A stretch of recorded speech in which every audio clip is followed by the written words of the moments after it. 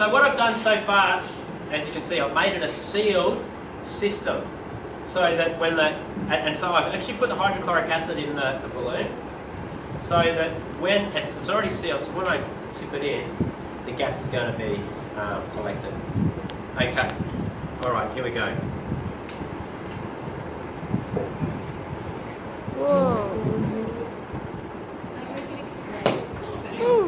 This is why I want Frank here. It's very, very hot. This is an exothermic reaction.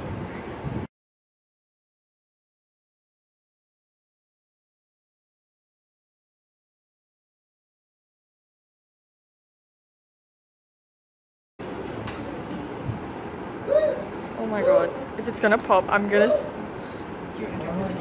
Sir's face is brilliant.